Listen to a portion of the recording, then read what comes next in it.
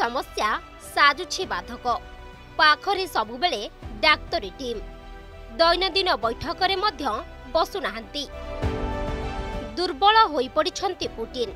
ଶିଥିଳ ପଡ଼ୁଛି ଶକ୍ତିଶାଳୀ ରାଷ୍ଟ୍ରର ରାଷ୍ଟ୍ରପତିଙ୍କ ଶକ୍ତି।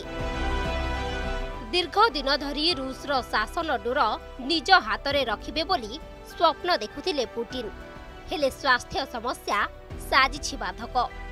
ରୁଷରେ ସୃଷ୍ଟି ହେଉଥିବା ଗୁଜବ ମୁତାବକ ପୁଟିନ୍ ବ୍ଲଡ୍ କ୍ୟାନ୍ସର ଓ ପାର୍କିନ୍ସନରେ ପୀଡ଼ିତ। ୟୁକ୍ରେନ୍ ଉପରେ ଆକ୍ରମଣ ପରଠୁ ହିଁ ତାଙ୍କ ସ୍ୱାସ୍ଥ୍ୟାବସ୍ଥା ବିଗିଡ଼ିବାରେ ଲାଗିଛି। ମେ ନଅ ତାରିଖରେ ଦେଶ ବିଜୟ ଦିବସ ପାଳନ ଅବସରରେ ପୁଟିନ୍ ଅତ୍ୟନ୍ତ ଦୁର୍ବଳ ଜଣାପଡ଼ୁଥିଲେ। ସେ ଠିକ୍ ଭାବରେ ବସିପାରୁନଥିଲେ। ଛୋଟେଇ ଛୋଟେଇ ଚାଲୁଥିଲେ। ଏମିତିକି ସେ ଦୈନନ୍ଦିନ ବୈଠକରେ ବସୁନାହାନ୍ତି। ଆଉ ତାଙ୍କ ପାଖରେ ସବୁବେଳେ ଡାକ୍ତରୀ ଟିମ୍ ରହୁଛନ୍ତି। ମେ ଚଉଦରେ ୟୁକ୍ରେନ୍ର ସାମରିକ ଗୁଇନ୍ଦା ମୁଖ୍ୟ ମେଜର ଜେନେରାଲ କରିଲୋ ବୁଦାନୋଭ କହିଥିଲେ ଯେ ପୁଟିନ୍ଙ୍କୁ ଦୁର୍ବଳ କରୁଛି ରୋଗ। ତାଙ୍କୁ ଗାଦିରୁ ହଟାଇବା ପାଇଁ ଯୋଜନା ଆରମ୍ଭ ହୋଇଯାଇଛି। ସେ ଯେକୌଣସି ସମୟରେ ବି ତାଙ୍କୁ ହଟାଇ ଦିଆଯାଇପାରେ। ପୁଟିନ୍ ବ୍ଲଡ୍ କ୍ୟାନ୍ସରରେ ଆକ୍ରାନ୍ତ ହୋଇଥିବା ଏକ ସିକ୍ରେଟ୍ ରିପୋର୍ଟରୁ ମଧ୍ୟ ଜଣାପଡ଼ିଛି।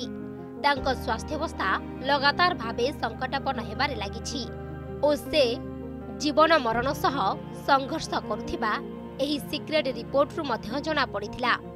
ଏନେଇ ଜଣେ ପୂର୍ବତନ ବ୍ରିଟିଶ ଗୁପ୍ତଚର ଖ୍ରୀଷ୍ଟୋଫେର ଷ୍ଟେଲି ସୂଚନା ଦେଇଛନ୍ତି।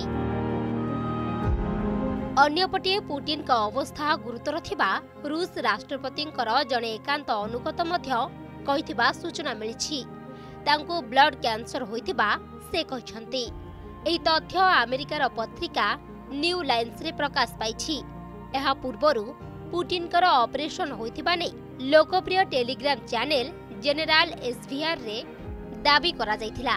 ତେବେ ଶକ୍ତିଶାଳୀ ରାଷ୍ଟ୍ରର ଶାସକଙ୍କ ଶକ୍ତି ଶିଥିଳ ହେଉଛି ଯାହା ଅନ୍ୟ ଦେଶମାନଙ୍କରେ ଏକ ବଡ଼ ଚର୍ଚ୍ଚାର ବିଷୟ ପାଲଟିଛି।